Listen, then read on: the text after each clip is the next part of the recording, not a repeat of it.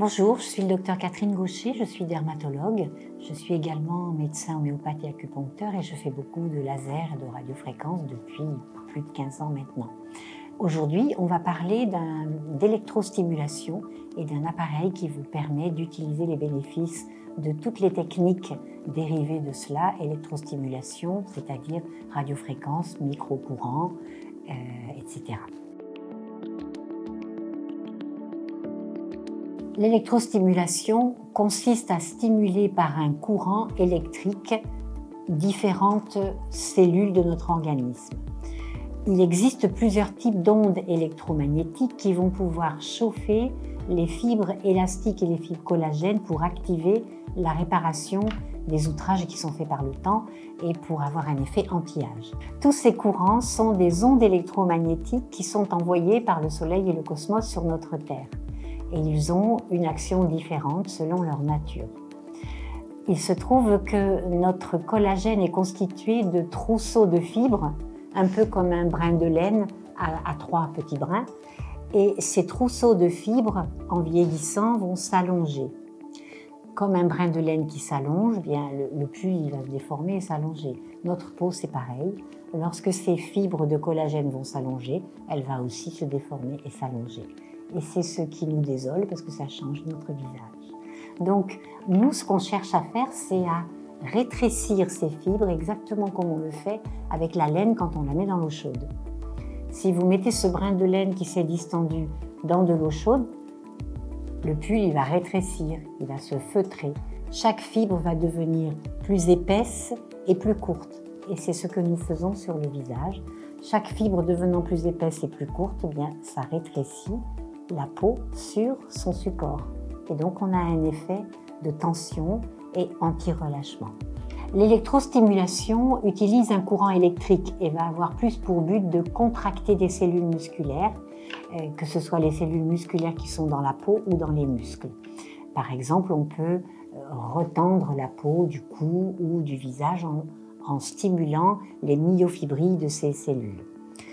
La radiofréquence, de son côté, correspond à d'autres longueurs d'onde sur le même spectre électromagnétique et elle va pouvoir permettre euh, de chauffer entre deux points tout un volume.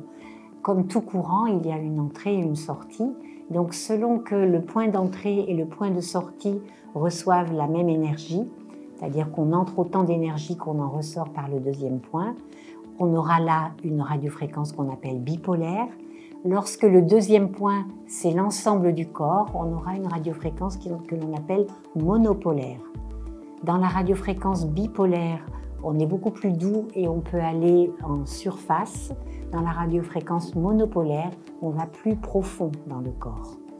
Mais c'est moins doux, ça peut être plus efficace. Donc nous utilisons ces deux techniques et même d'autres dérivés de la radiofréquence pour tous les effets anti-âge en stimulant le collagène et les fibres élastiques, en les chauffant pour qu'ils retrouvent leur densité initiale et qu'ils soient moins distendus. Les microcourants, quant à eux, sont des courants électriques très faibles, comme leur nom l'indique, et l'intensité de ces courants étant très faible ne va stimuler que l'activité cellulaire. Donc ce sont certaines cellules qui seront stimulées et pas d'autres, en particulier les cellules qui fabriquent le collagène et les fibres élastiques.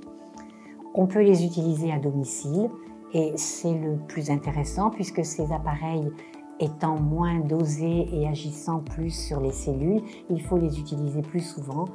Donc leur utilisation ne peut donner un résultat visible que si c'est fait très régulièrement et tous les jours. J'utilise la radiofréquence dans mon cabinet depuis 2002. Euh, c'est une technique qui m'a séduite dès le départ parce que j'avais l'habitude d'utiliser l'acupuncture. J'ai utilisé l'électrostimulation d'acupuncture euh, bien des années auparavant. La radiofréquence est arrivée dans les années 2000-2002 et j'étais une des premières parce que c'est un effet euh, absolument sans effet secondaire, si on sait bien l'utiliser bien sûr. Et c'était ce qui m'intéressait pour essayer d'avoir un effet anti-âge au départ, euh, pratiquement chez tous les patients, mais je ne savais pas exactement au départ, je l'ai découvert après. sauf les personnes qui sont porteuses d'un pacemaker. Ensuite sont arrivés les home devices, c'est-à-dire les petits appareils qu'on peut utiliser à domicile. Et là, ce n'était plus de la radiofréquence, c'était des micro-courants, mais qui peuvent, euh, l'expérience me l'a prouvé, euh, avoir le même genre d'effet sur la peau. Et j'ai pu comparer ces effets, à condition qu'on le fasse régulièrement, avec ceux que nous avions au cabinet en faisant des séances une fois par mois. Donc, pour moi, c'est intéressant avec ce qui se passe aujourd'hui et la transformation de la vie de, de, tous les humains sur Terre. On va de plus en plus vers quelque chose qu'on peut faire chez soi facilement. Et ça, je pense que ça peut nous aider, éviter de se déplacer. Euh, d'une heure de trajet pour venir faire une séance une fois par mois, ça peut être intéressant pour le même résultat. Alors par contre, toutes ces techniques peu invasives, et en particulier les micro-courants, ne sont pas des techniques de chirurgie esthétique euh, où on coupe et où on tire. C'est-à-dire qu'on ne va pas voir tout de suite l'effet. Et pour qu'on ait un effet, il faut commencer assez tôt. Cela ne s'applique pas à tout le monde une vieille dame de 90 ans qui voudrait retrouver un visage même de ses 70 ans, elle ne l'aura pas. Elle aura une petite amélioration peut-être sur le grain de peau, mais pas, pas sur le relâchement. Donc, il faut savoir adapter la technique à la personne et dans le cas de la radiofréquence ou des micro-courants, savoir regarder euh, ce qui peut peut-être commencer à être euh, justiciable de ça. Par contre, vous commencez à avoir une petite ride là ou quelque chose qui, vous donne l'impression que votre visage il est un petit peu plus affaissé, là c'est intéressant. On ne va pas voir un chirurgien pour ça, mais par contre on peut commencer à entretenir sa peau et ses tissus pour qu'ils ne se décomposent pas trop vite, qu'ils ne descendent pas trop vite. Et ça, ça marche. Nous, on a maintenant, 2002, euh, on a 20 ans de recul. Et effectivement, en 20 ans, je peux dire maintenant qu'avec ces techniques, on peut gagner à peu près 10 ans. Alors, le BER de, de, Foreo est un petit appareil très intéressant parce que grâce à ces deux petites euh, électrodes, il a un effet de, comme la radiofréquence bipolaire que nous utilisons dans mon cabinet, il a un effet de réchauffement entre les deux électrodes par le courant qui passe. Donc si on suit une zone que l'on veut tendre, eh bien, on va réchauffer les fibres élastiques et les fibres collagènes de cette zone-là et on va la retendre progressivement et tout doucement. Ceci dit, c'est progressif dans la durée, mais c'est presque immédiat quand on le fait parce qu'on le voit.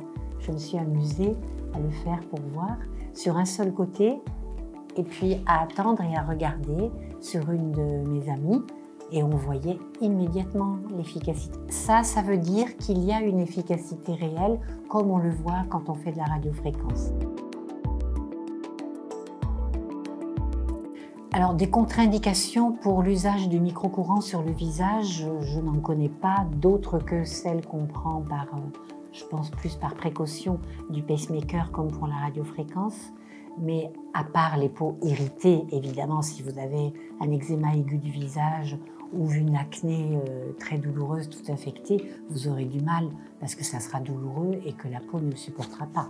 Mais sur une peau normale, il n'y a pas vraiment de contre-indication. Je vous remercie d'avoir regardé cette vidéo et n'hésitez pas à poser des questions si vous en avez ou à mettre des commentaires en bas de la vidéo. Au revoir.